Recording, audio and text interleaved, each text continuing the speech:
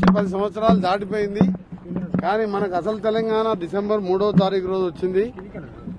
ప్రభుత్వ స్కూల్ అనేది తెలంగాణలో కనుమరుగయ్యే పరిస్థితిలో తెలంగాణ ప్రజల ఆశీర్వాదంతో తెలంగాణ ప్రభుత్వం రా- కాంగ్రెస్ ప్రభుత్వం రావడం పేదల ప్రభుత్వం రావడం ప్రజాస్వామ్య తెలంగాణ ప్రభుత్వం రావడం అందులో భాగంగా మా ముఖ్యమంత్రి గారు మేము మన కేబినెట్లో నిర్ణయించుకుని విద్యారంగం మీద ప్రత్యేక దృష్టి పెట్టి ప్రభుత్వ పాఠశాల నుంచి మొదలుపెట్టుకుంటే యూనివర్సిటీల వరకు దాదాపు చరిత్రలో ఎక్కడ ఏ రాష్ట్రం పెట్టని విధంగా పది శాతం అంటే ఇరవై వేల కోట్ల పైన ఇరవై రెండు వేల కోట్ల బయట స్కూల్స్ నుంచి యూనివర్సిటీస్ని స్ట్రెంథన్ చేసుకుంటూ ప్రతి ఒక్క పేదవానికి ప్రభుత్వ విద్య విద్య అందించాల ఉద్దేశంతో ఈ కార్యక్రమాన్ని తీసుకున్నాం. అందులో భాగంగా ఇవాళ నగరికల్ కాన్స్టిట్యూన్సీలోని విలయంలో నా సొంత గ్రామమైన? స్థానిక ఎమ్మెల్యే ఎమ్మెల్యే గారి అధ్యక్షతన మా కలెక్టర్ గారు హరిచందన గారు మా జిల్లా ఎస్పీ గారు అలాగే జాయింట్ కలెక్టర్ గారు డిఈఓ గారు మా నాయకులు ప్రజల సమక్షాన బడిబాట కార్యక్రమం నిర్వహించుకోవడం ఆ బడిబాట పరంగా మీరే చూశారు. ఇప్పటికే మన రిపేర్స్ కానీ బాత్రూమ్స్ కానీ ఇవన్నీ కూడా రిపేర్ వర్క్ స్టార్ట్ చేసుకుంటూ పెయింటింగ్స్ వర్క్ స్టార్ట్ చేస్తూ పుస్తకాలు అడ్వాన్స్గా ఇవ్వడం చరిత్రలో ఫస్ట్ అనుకుంటా బహుశా దాంతో పాటు ఒక జత అడ్వాన్స్ దాదాపు ఐదు వందల రూపాయలు మహిళా సంఘాల ద్వారానే కుట్టించినాం. మహిళా సంఘాల ద్వారానే బయటి వారికి ఇయ్యలే. మహిళా సంఘాల ద్వారా ఒక జత పడిచి ఇంకో వారంలో ఇంకో జత ఇవ్వడం పిల్లలని తీ- ఈ చదువు ఉంటేనే తప్ప అభివృద్ధి చెందదు.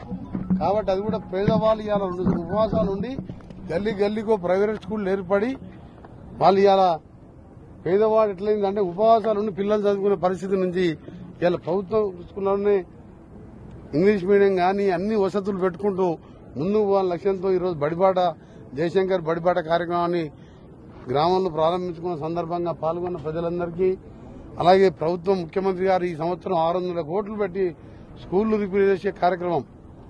ఎప్పుడన్నా పదేళ్ళు ప్రగతి ఫామ్ హౌస్కే పరిమితమైన ముఖ్యమంత్రి కాళేశ్వరం లాంటి కూలిపోయే ప్రాజెక్టు కట్టి ఏడు లక్షల కోట్లు అప్పు చేసి ఎప్పుడన్నా స్కూళ్ళలో పేదవాడు చదువుకోవాలని ఆలోచన ఎప్పుడైనా చేసినావా?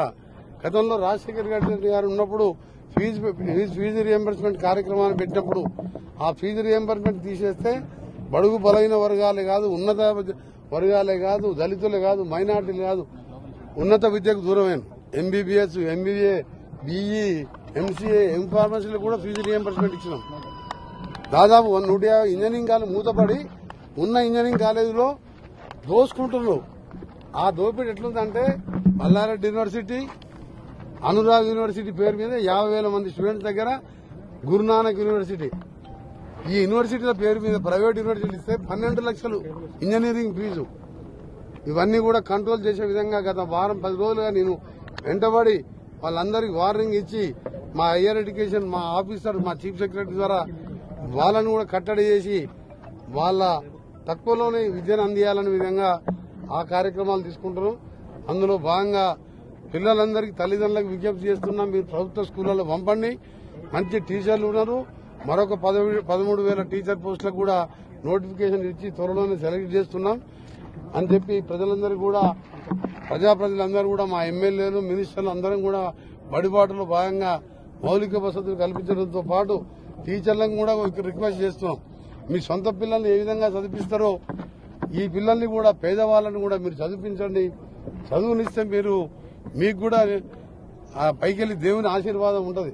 ఇవాళ మీరు బడికి వచ్చినా అంటే వచ్చినాని కాదు. ఇవాళ మీరు క్వాలిటీ విద్యను అందియండి. మీ ఆయన మేధావులు ఉన్నారు.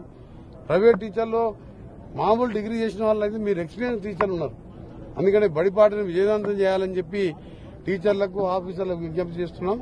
మరొకసారి బడిపాట కార్యక్రమం ఇలా మొదలు పెడుతున్నాం.